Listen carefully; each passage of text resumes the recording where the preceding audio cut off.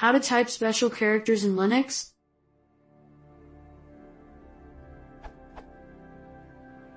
In Windows there is possibility to type from keyboard special signs by holding Alt key and typing a few numbers. That depends on which sign you want to use. Does it work with Linux in the same way?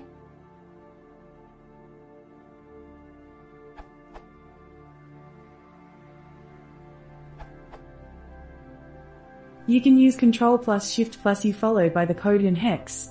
You only need to hold down Control and Shift while typing the code.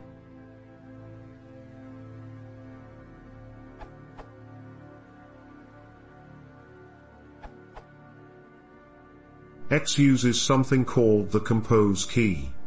By pressing compose, some key, some key. In sequence, you can input characters. I have my compose key set to menu, to type a copyright, copyright symbol, I would use menu, O, C. A full list of X compose key combinations can be found online, 200 kib, or locally in slash use slash share slash x11 slash locale slash nn underscore as dot utf8 slash compose. In GNOME, the compose key can be set by going to Preferences Keyboard Layouts tab Layout Options Compose Key Position.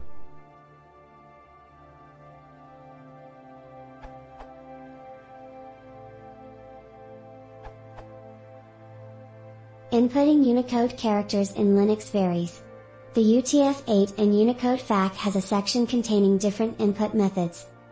Control plus Shift plus U, Unicode in hex, is defined in ISO 14755 and implemented by GTK2+, and works in GNOME Terminal and other applications. Control plus VU, Unicode in hex, works in Vim. Alt plus Unicode in decimal using numpad digits, works at the console providing your environment is properly configured to expect UTF-8, via locale or lang environment variables.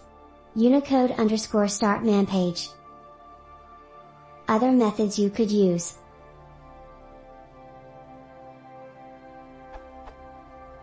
Cut and paste characters from a small input file containing the characters you want. Use Xmodmap to remap keys in X, see the FAQ link above for examples.